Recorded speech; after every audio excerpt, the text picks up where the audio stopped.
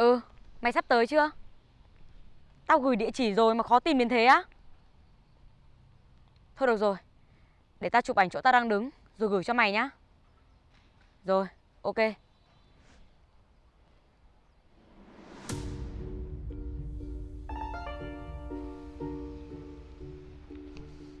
Này cô kia Cô chụp gì chúng tôi đấy Không, tôi có chụp anh chị đâu.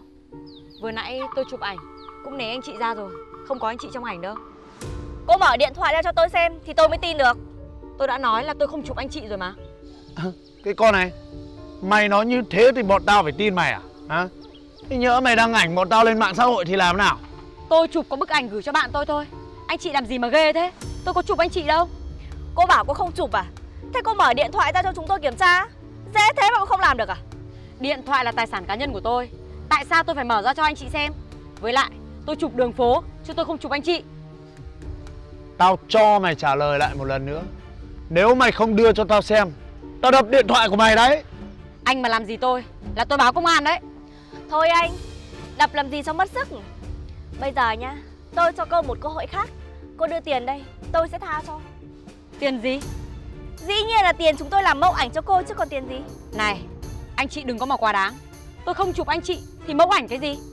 Không lẽ tôi chụp đường phố cũng phải trả tiền cho anh chị chắc? Ai biết đâu được đấy Cô chụp ảnh tôi với người yêu tôi Rồi đăng lên những cái nhóm xấu xa Để bôi nhọ danh dự chúng tôi thì làm sao Hai người ảo tưởng vừa thôi. Tôi không dành đến mức đấy đâu. Tôi bận rồi. Đứng lại đã Nôn tiền ra đây Rồi muốn đi đâu thì đi Các người đừng có mà quá đáng. Tôi không có tiền. Thôi Em nhiều lời mới nói làm gì Để anh Anh làm cái gì đấy? Cứu tôi với! Anh làm cái gì đấy hả? Buông tôi ra! Này anh kia Anh đang làm gì vậy? Ơ, Cường, là cậu à? Nhung Sao cậu lại ở đây? Xảy ra chuyện gì vậy? Tôi chụp có bức ảnh đường phố Mà hai người họ đổ cho tôi là chụp họ Rồi đòi tiền của tôi. Giữa ban ngày ban mặt Mà hai người dám làm chuyện này à? Thế hóa ra hai đứa chúng mày quen nhau à? Đúng là một lũ mèo mả gà đồng. Này Tôi cảnh cáo cô Ăn nói cho cẩn thận Không phải ai cũng hiền lành Để hai người bắt nạt đâu. Cái thằng ôn này Mày khôn hồn thì bảo con bạn mày đưa tiền cho bọn tao Thì bọn tao tha. Nếu không ấy Đừng có trách. Các người đừng hòng lấy được nghìn nào của cô ấy. Coi như hôm nay chúng mày may mắn đấy. Để tao gặp lại lần nữa thì đừng có trách. Em bỏ qua dễ dàng như thế à? Thế chẳng bỏ qua thì anh định đánh nhau với anh ta à? Thôi được rồi. Hôm nay tao tha cho chúng mày đấy. Đi. Cậu có sao không? Tôi không sao. Cảm ơn cậu nhá. May mà khi nãy có cậu đấy Có gì đâu. Bây giờ ra đường ấy nhiều người xấu lắm. Cậu phải cẩn thận đấy. Mà lâu lắm rồi tôi mới gặp lại cậu. Cũng phải mấy năm rồi ấy nhở? Cũng lâu lắm rồi Mà cậu dạo này vẫn ổn chứ? Tôi cũng tạm thôi. Cậu lại khiêm tốn rồi. Ngày xưa đi học ấy Cậu học giỏi nhất còn gì? Đấy là ngày xưa đi học thôi Chứ bây giờ đi làm rồi Có nhiều thay đổi lắm. Nhưng mà tôi tin vào khả năng của cậu lắm đấy. Thế bây giờ cậu làm ở đâu rồi? Tôi mới đi du học về Bây giờ đang chuẩn bị đi làm đây. À Thế là học xong cấp 3 Cậu đi du học luôn à? À Tớ học 2 năm đại học á Rồi mới đi. Cậu sướng thật đấy. Nói chung là cũng có cách sướng Mà cũng có cách khổ. Ừ. Thế cậu đã tìm được công ty nào phù hợp chưa? Ngày mai tôi bắt đầu được đi làm rồi. Thế à? Chúc mừng cậu nhá. Sau này mà làm chức to Không được quên cô bạn này đâu đấy. Cậu yên tâm Tôi không quên đâu. Mà uống nước đi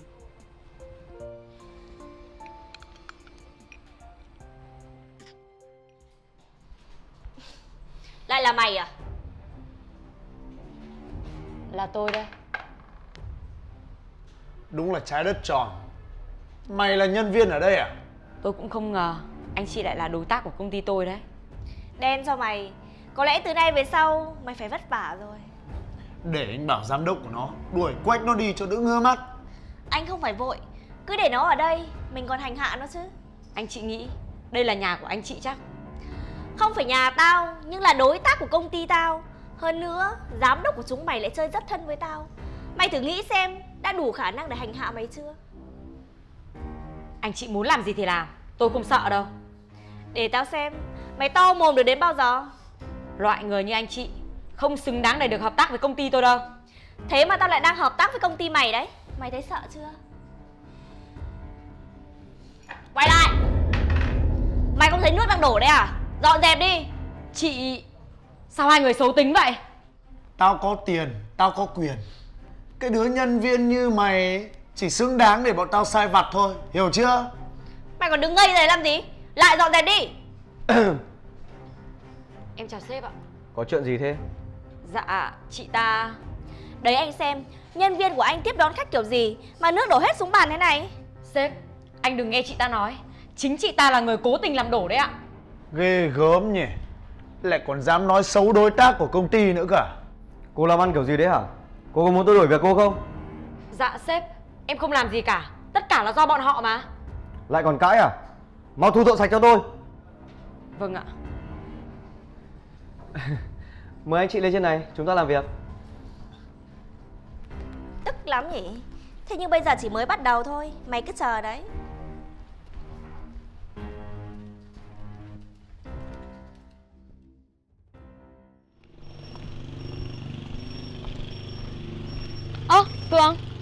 Ở đây? Nhung à Tôi làm ở đây mà. Ô trùng hợp thế á Tôi cũng làm ở đây đấy. Thế á? Cậu làm công ty nào? Tôi làm ở công ty BJ Một chi nhánh nhỏ của tập đoàn ABA Ôi Thế thì chúng ta lại trở thành đồng nghiệp rồi đấy. Thế là cậu cũng vào làm ở đây à? Đúng rồi. Tính ra tôi với cậu là có duyên phết đấy. Tôi cũng đang không tin nổi đây Thế là từ bây giờ tôi có thêm một đồng nghiệp xịn sò rồi. Tôi có là gì đâu mà xịn sò. Cậu đi du học về chả xịn thì không à? Dù học thì có gì đâu Cũng bình thường mà. Mà thôi lên trên kẻo muộn. Ngày đầu đi làm mà đã đi làm muộn Thì cậu toi đấy. À, ừ. Có cậu là đồng nghiệp như thế này á Tôi thấy háo hức rồi đấy. Ba hôm là cậu lại chán tôi ngay ấy mà. Chán thì cũng phải 30 năm nữa mới chán chứ. Khiếp Cậu còn chưa vào làm Mà đã định gắn bó ở đây 30 năm rồi à? À, Đó là tôi cứ nói vậy thôi. Thôi mình lên đi. Ừ đi. Ai chả Hôm nay lại gọi thêm cả đồng đội đến cơ à Sao hai người lại ở đây? Thế sao mày lại ở đây? Tôi là nhân viên của công ty này. Thế còn các người Ở đây làm gì? Đúng là ông trời giúp bọn tao rồi. Không ngờ hai đứa mày làm cùng một công ty luôn đấy. Chúng mày yêu nhau à? Chị đừng có ăn nói linh tinh. Tôi đến đây làm ấy Thì liên quan gì đến các người? Thế thì để tao nói cho mày biết sự liên quan nhé. Bọn tao là đối tác của công ty mày đấy. Chúng mày vào đây làm á Là coi như là chui đầu vào giọ ấy, biết chưa Sao hai người có thể là đối tác công ty tôi được? Sao lại không thể? Mày sợ rồi à? Nếu sợ thì xin tao đi. Tao sẽ tha cho mày yên ổn làm ăn. Nếu không thì sao? Nếu không ấy Thì chúng mày cứ chuẩn bị tinh thần đi. Cứ xác định mỗi một ngày đi làm Là một ngày đau khổ. Thế thì để tôi xem các người có khả năng gì Mà lại ra oai như vậy. Mày muốn biết á, thì để tao cho mày xem luôn. Còn kia Đi mua đồ ăn sáng cho tao Chị có chân có tay Thì tự đi mà mua. À giỏi quá nhở Mày có muốn tao báo với giám đốc mày Là mày tiếp khách không chu đáo rồi đuổi việc mày không? Đây không phải nhiệm vụ của tôi. Chị có báo với giám đốc Thì tôi cũng không sợ đâu.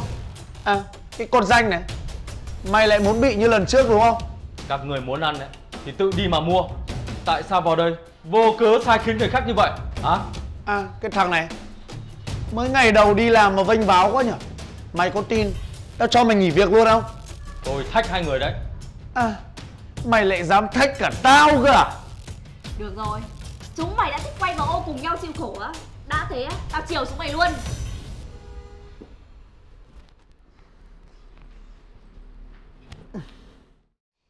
Không ngờ tôi với cậu đã học cùng nhau Giờ lại làm chung công ty nữa.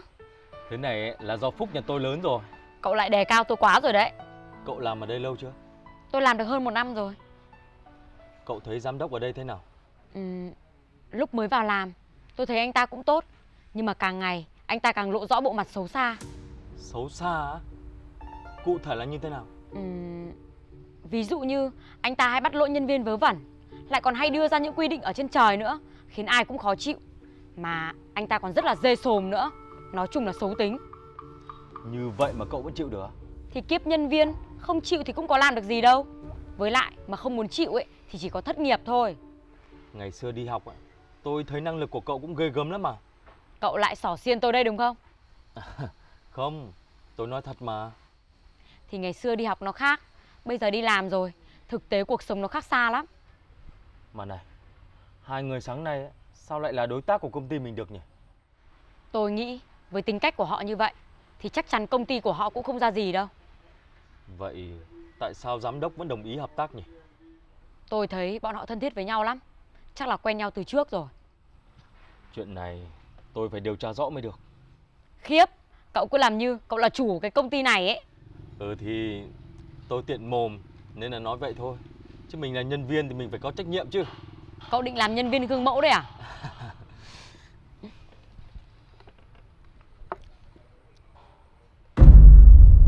Chào anh Chào anh. À Đây là số tiền của anh sau dự án vừa rồi Anh kiểm tra lại đi ạ Không cần phải đếm. Tôi với hai người có phải làm việc với nhau lần đầu đâu. Nói gì thì nói, vẫn phải cảm ơn anh đã hỗ trợ chúng em. Nếu như không có anh ạ, thì làm sao chúng em có cơ hội hợp tác với tập đoàn ABA để có ngày hôm nay ạ? Không phải cảm ơn, hợp tác hai bên cùng có lợi mà.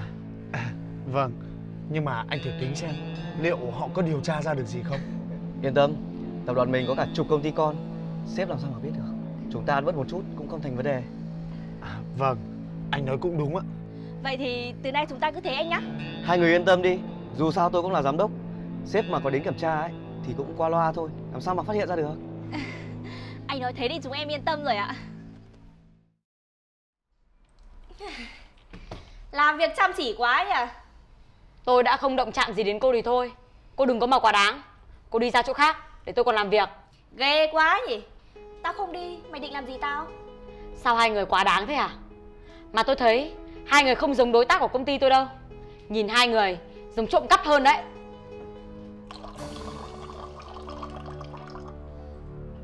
Tao cho mày nói lại lần nữa đấy.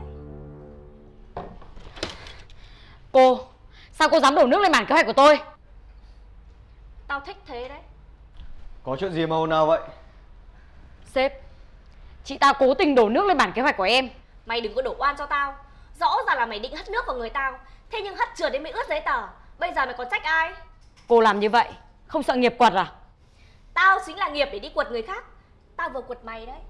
Cô Tôi nghĩ anh nên đuổi việc cô ta đi Chứ để cô ta ở đây như thế này Sẽ làm ảnh hưởng đến công ty đấy Người bị đuổi đi ấy, là các người đấy. À Lại còn mày nữa à Anh đuổi nốt cả cái thằng này đi Hai người quen anh ấy à? Thằng này cũng cùng một phe với con bé này. Anh đuổi luôn cả hai đứa đi cho đỡ ngứa mắt. Thế nào à giám đốc? Có đuổi được tôi không? À, dạ em em không dám ạ. Hai người đã tội nhầm người rồi đấy. Ồ Thế Thế nó là Nó là ai Đây là con trai duy nhất của chủ tịch đấy. Anh, anh nói cái gì cơ? Anh đang đùa chúng tôi đấy à? Đùa cái gì?